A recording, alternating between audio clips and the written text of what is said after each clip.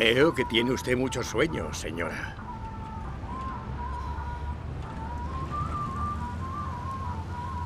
No estaba dormida. Solo me había recostado un momento. Es que cada vez que voy en coche es como si me tomara unas pastillas para dormir. Mm. Hoy, Mosén, se ha portado muy mal conmigo. Estoy muy enfadado con él. Señora Graham, le digo una cosa. Debe usted ayudarle a casarse. Pero, señora Nuss, si es que mi hijo, de tanto preocuparse por nosotras, se ha olvidado hasta de sí mismo. No se preocupe. Muy pronto le dejaré uno de mis negocios a su hijo para que lo administre y pueda ganar dinero. Es usted muy amable, señora Nuss. Él no tuvo un buen padre, ¿sabe? Usted para él es como su padre. Hmm. Es un chico muy trabajador. Aunque su marido no fue un buen ejemplo para ellos, le diré que sus dos hijos son extraordinarios, señora. Gracias a Dios. Ahora es el momento de pensar en la boda de sus hijos. Quiero decir que ya es hora de que los eche usted de casa.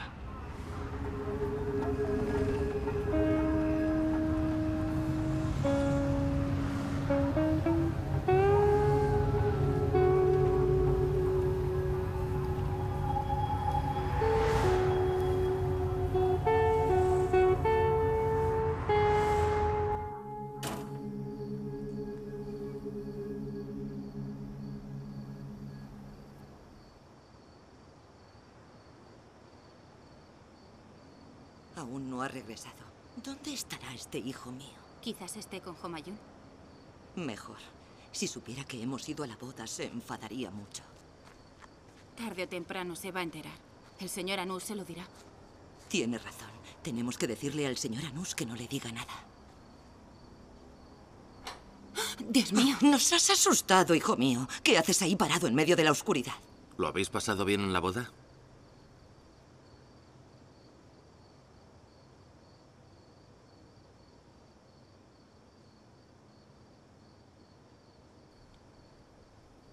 ¿Has cenado, hijo? No. ¿No me habéis traído nada de la boda? Nosotras no queríamos ir, pero el señor Anus vino y nos obligó, hijo. Anus es un canalla. No grites, Mosén. ¿Qué van a pensar los vecinos? ¿No os dije que no fuerais? ¿Preferís hacerle caso a Anus en vez de a mí? Cariño, ¿qué te ha hecho a ti el pobre señor Anus? ¡Respóndeme! ¿No os dije que no fuerais? Y yo te he dicho que no grites, nos vas a hacer quedar mal en el barrio. ¿Cómo vais a quedar mal yendo en el coche de un desconocido sin el hombre de la casa?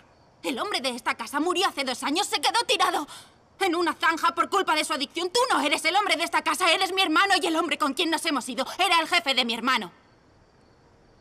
Escúchame bien lo que te voy a decir, hermana mayor. Si vuelves a hablar con mi jefe, yo mismo te daré una buena paliza. Mi hermanito se ha vuelto loco. pasa? ¿Por qué nos tratas así? ¿Es que quieres demostrarnos lo hombre que eres pegando a tu hermana?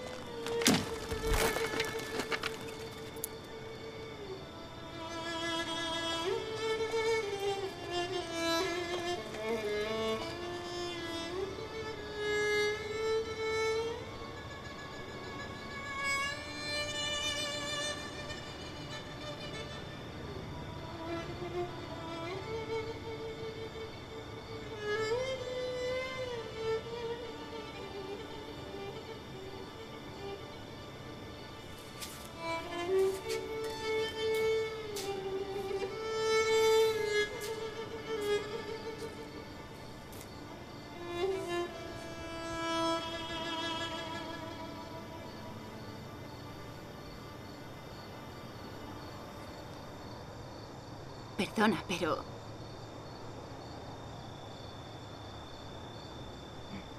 ¿Por qué has tirado las granadas? Ya me dan asco hasta las granadas y el zumo de granada. Vinieron los inspectores del ayuntamiento y levantaron otra vez la pared delante de la tienda. No te olvides de derribarla. Haré todo lo que tú me digas, hermana. Pero a veces los mayores tienen que escuchar a los jóvenes también. Mariana, a pesar de que yo soy menor que tú, si te digo algo es porque yo sé cosas que vosotras no sabéis. Lo sabemos todo. No lo sabéis. Juro que no lo sabéis. No sabéis que el señor Anus paga las granadas y también me paga un buen sueldo solo por ser amable conmigo. Todo lo hace por ti.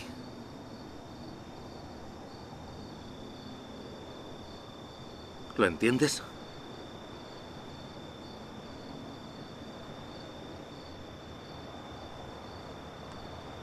A ese hipócrita le gusta mi hermana. Piensa pedirte que te cases con él. ¿Lo entiendes ahora? Ya lo sabes. Lo creas o no, yo he aceptado su propuesta de matrimonio. Pero mi dote no es solamente el pago de las granadas. Tiene que comprar una casa para nuestra madre y un coche y una tienda para ti. Esa será mi dote. Ni sueñes en poder conseguirlo, Mariam. Porque antes mataré al señor Anus. ¿Así nos demuestras que te preocupas por nosotras? Te llevarán a la cárcel y no habrá nadie que nos proteja. Yo no quiero que tú me compres ninguna tienda ni ningún coche con su dinero, querida hermanita.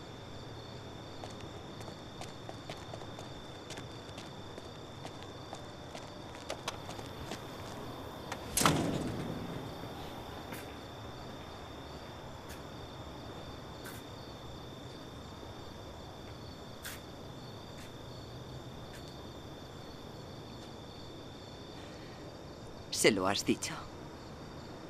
Sí, ¿A dónde ha ido mi hijo? a donde va siempre. A casa de Humayun.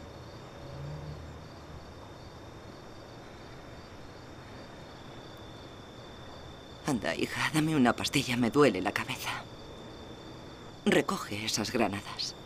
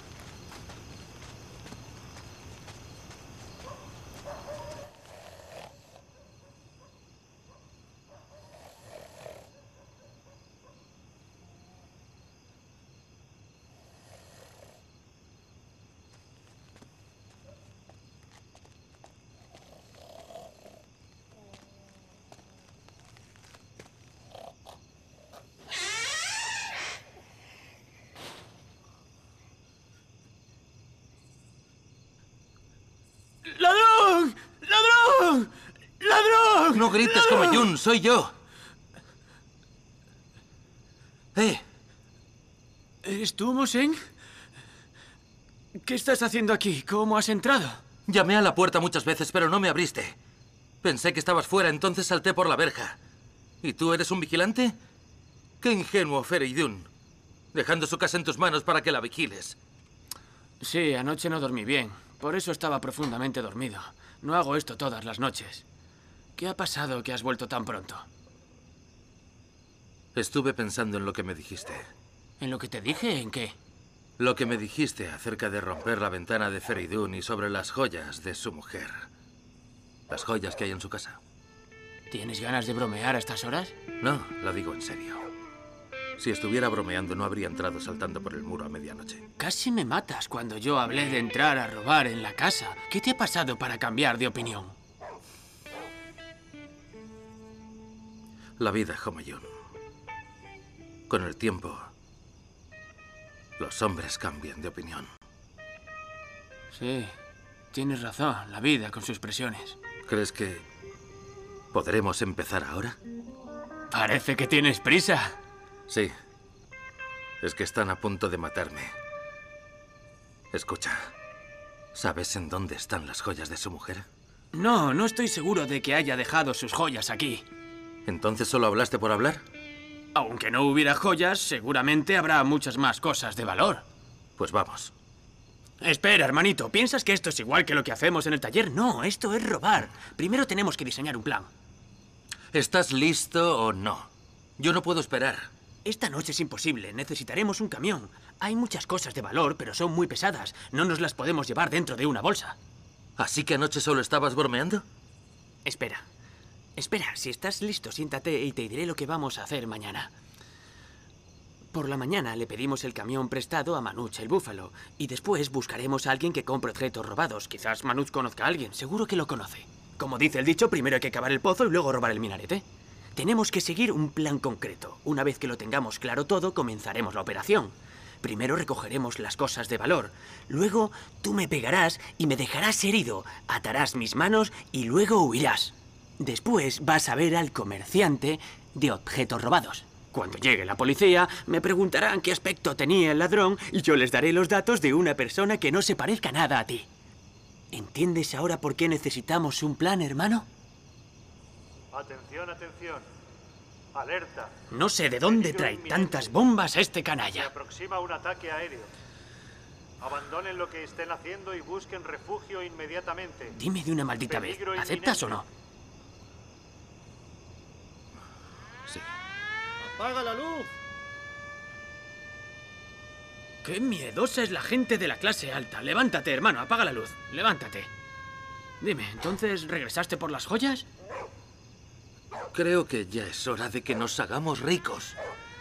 Tú lo has dicho, amigo. Por supuesto que sí.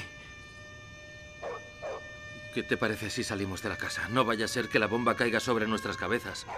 No tengas miedo, hermano. Las bombas conocen su camino. Siempre caen en barrios como el nuestro. Soran no lucha contra Feridun ni contra los ricachones. ¡Ay!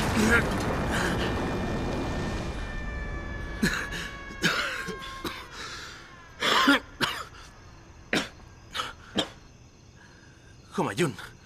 Homayun, ¿estás bien? Sí, estoy bien. ¿Y tú?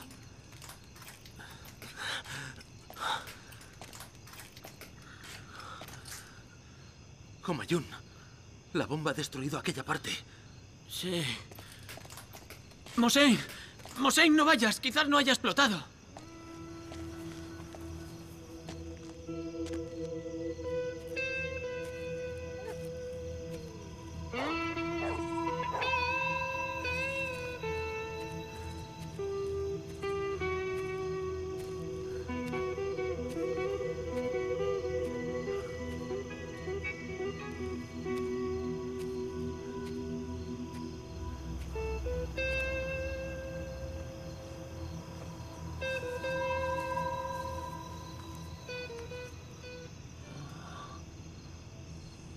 ¿Qué es eso? Parece un almacén. ¿Tienes una linterna? ¿Una linterna? Sí.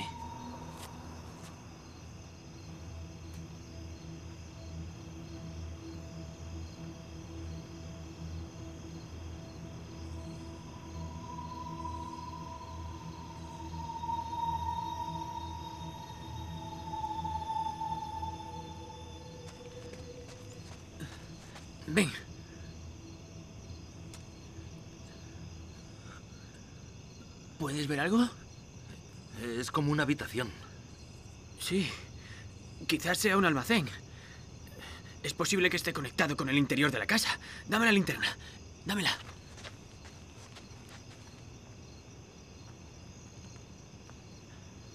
Ten mucho cuidado.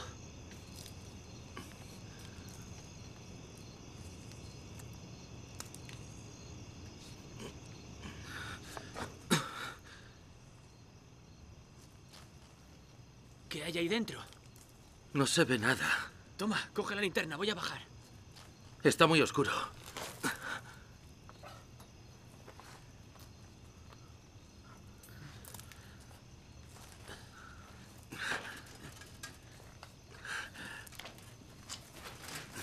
Ay.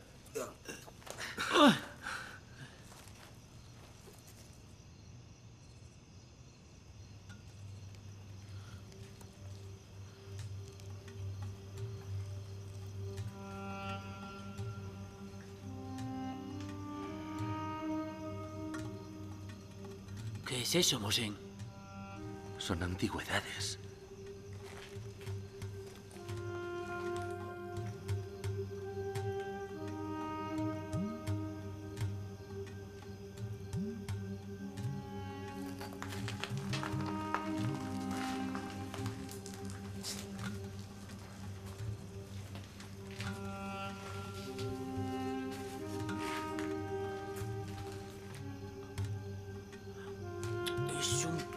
Barro del siglo IV. Sí, del siglo IV y es amol. ¿En qué siglo estamos ahora?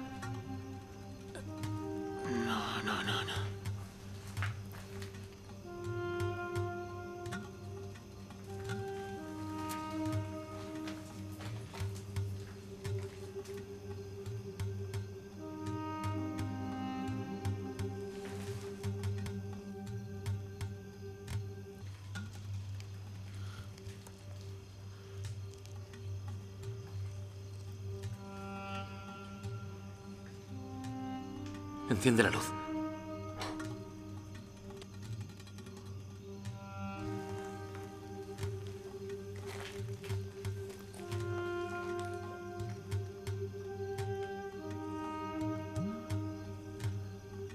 Ya decía yo que era imposible que Fereidun hubiera logrado toda su riqueza gracias a su tienda. Es un traficante de obras de arte. Mosén, todo eso son antigüedades. Mira. Hay antigüedades por todas partes. Mira, Mosén. Esta es la más antigua. Vaya. Dios mío, somos ricos. Mi madre tiene un collar que tiene unos soles iguales a estos. El misil de Saddam por una vez ha caído en un buen lugar.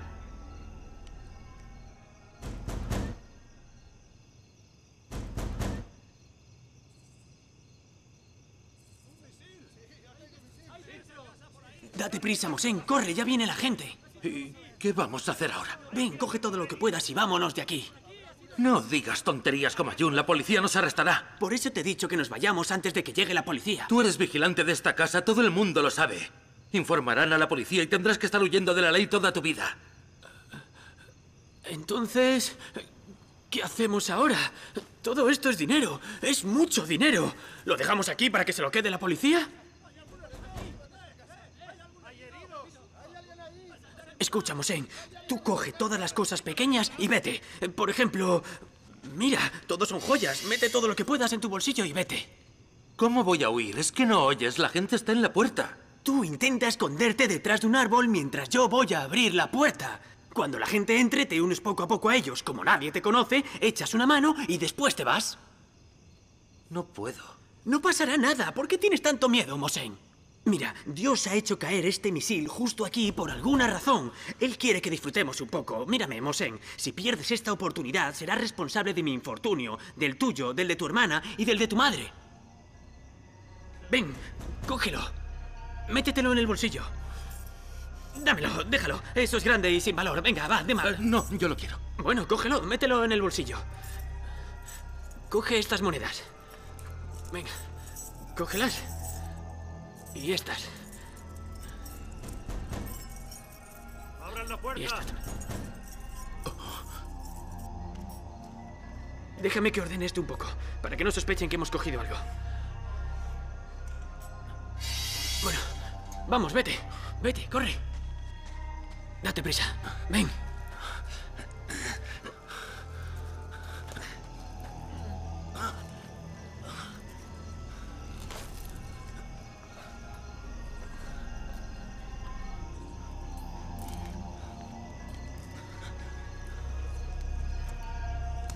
Dame la mano. Espera, deja que apague la luz.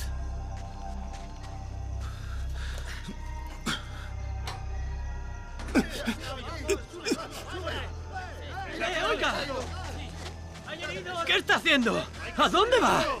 ¿No está usted herido? ¿Está bien? Sí. ¿Por qué sube por el muro?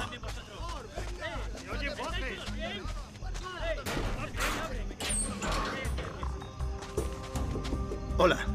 Hola. ¿Estás bien? Sí. ¿No estás herido? No, estoy bien, gracias a Dios. Solo me ha afectado un poco la onda expansiva. ¿Fue una bomba o un misil? ¿Qué? La verdad, no lo sé. ¿En dónde ha caído? Eh, ahí, entre, pase. Vamos a ver. Hay que ayudar a los heridos. Ha caído aquí. Cuidado. ¿Dónde ha caído? Aquí, a la derecha, señor, a la derecha. Vamos, date prisa. Por aquí, por Ha sido aquí. una bomba enorme. Mira, sigo allí, allí. Sí, Síganme. Sí, vamos, vamos. corred. Vamos, vamos. Por aquí, por aquí, venid. Prisa, deprisa. Rápido, Corre. corred. Sí, Vamos a ver.